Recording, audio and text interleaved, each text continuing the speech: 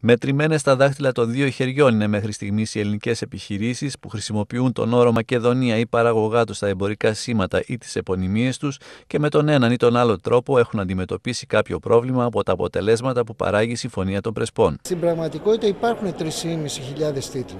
Περισσότεροι από αυτούς όμως είναι ανενεργοί. Από τις 3.500 τίτλους η ενεργή είναι 300. Το πραγματικό αντικείμενο των επιχειρήσεων που έχουν πρόβλημα είναι πάρα πολύ περιορισμένο. Δεν ανέρχεται μέχρι τώρα από το δικό μας έλεγχο στα επίπεδα των εμπορικών σημάτων τον αριθμό ε, των 9, ε, ο οποίος είναι πάρα πολύ χαμηλός ε, ως προς το σκέλος της αναφοράς Μακεδονίας. Σύμφωνα με τον κύριο Μπράχος, στα νέα σήματα ενδέχεται να προκύψει κάποιο ζήτημα, ωστόσο, επειδή πρόκειται για ιδιωτική διαφορά, με καλή διάθεση και θετικό πνεύμα από τις δύο πλευρές, θα βρεθεί λύση. Ο ίδιος μάλιστα εκτίμησε πως λόγω του ευρωπαϊκού κεκτημένου οι ελληνικές επιχειρήσεις είναι σε προνομιακή θέση.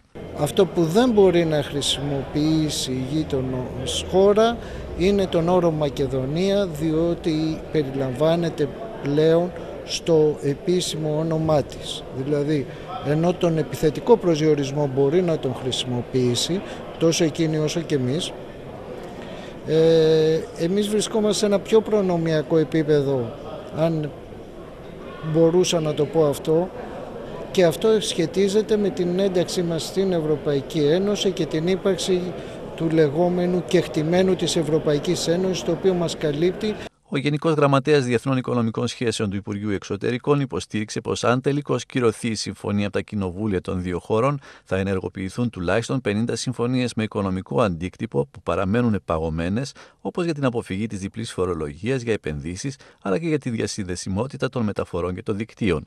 Για την αξιωματική αντιπολίτευση, ωστόσο, η συμφωνία παραμένει επιζήμια. Σας πω ένα παράδειγμα ότι τα δύο μέρη είναι διατεθειμένα να ανοίξουν δύο μεθοριακούς σταθμούς νέους, τον έναν στις Πρέσπες στην περιοχή του Λεμού, έχουν γίνει οι συζητήσεις, το δεύτερο στο Κιλκής, αυτό θα δώσει στις συγκεκριμένες περιοχές, θα είχε άμεσο οικονομικό αποτέλεσμα και σε επίπεδο τουρισμού και σε επίπεδο ε, κυκλοφορίας εμπορευμάτων. Και βεβαίως αυτό θα μας ανοίξει στην ευρύτερη αγορά της Βαλκανικής που είναι περί τα 50 εκατομμύρια. Η θέση της Νέας Δημοκρατίας είναι σταθερή.